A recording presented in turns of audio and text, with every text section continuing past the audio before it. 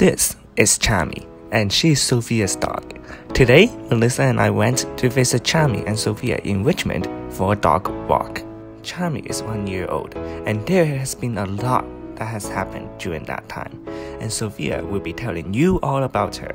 Welcome to the documentary of Chami, the Westie. So, this is the story of Chami. So, Chami is a West White Highland Terrier.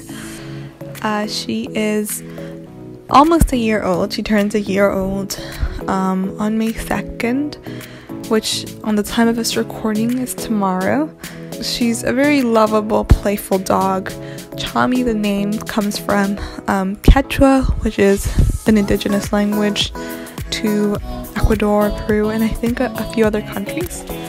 Chami is just a really lovely, playful, fun puppy. Well, now she's a year old, so I don't know if I could call her a puppy, but yeah, she definitely acts like one. And we got her from Peru, uh, and unfortunately, we did have to get her through a breeder. Because my brother has allergies, we had to get a dog that was in the category of hypoallergenic dogs, which are dogs that kind of are better for people with allergies. I couldn't get a rescue dog, and I would have loved to get a rescue dog. There's so many dogs that are available for rescue, and in the future, I will definitely get a rescue dog. But in this case, it was it was just very difficult to get a rescue dog. She stayed in Peru for about two months before we were able to bring her to Vancouver because the airline said you could only bring dogs when they were about five months in our case. So we brought her when she was five months and a half, and we picked her up um, in the airport in the special kind of carrier section where you where you go and pick up big packages and including also animals. And it was just a very exciting day. It was just very beautiful and sunny and we were just all so nervous to to bring her home but she was just very lovely and very sweet and very nervous as well when we first met her. Of course because she went through this lots of just lots of hours of flight. And yeah but now she's definitely gotten used to her family. She's gotten used to her family months ago.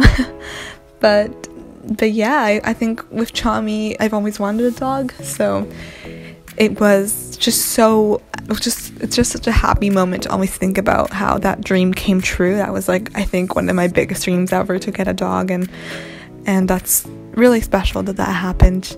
And just looking back at this, at her first, now that she's turning one, I'm just really grateful to be able to have her in my life and in my family's life. I think she's definitely been a blessing. She's been a stressor in many ways, but I think generally we could all say we also we absolutely love her and we wouldn't trade her or or yeah we we just we wouldn't want to uh, leave her anywhere. Like we really she is part of the family now.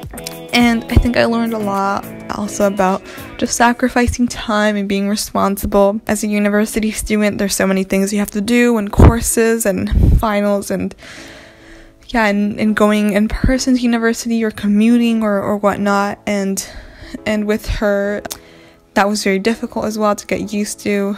I had to sacrifice some free time that I had and you know, do chores with Chami, learn, um, take her to obedience school with me, walk her two to three times a day, brush her hair. There's so many things you have to do. Um, clean her teeth, teach her tricks, play with her, etc. But it's been really good, and it's just taught it's just taught me a lot about responsibility and how to take care of a dog, which I think is a big kind of learning curve that one learns when you get a first dog. But yeah, I'm just here celebrating Chami's first birthday. Just want to thank Chami for being part of my family and for just being such a lovely, sweet, happy dog. I think she's always very, very happy. There's very, very rare times that I've seen her sad, so she brings so much light to all of our lives.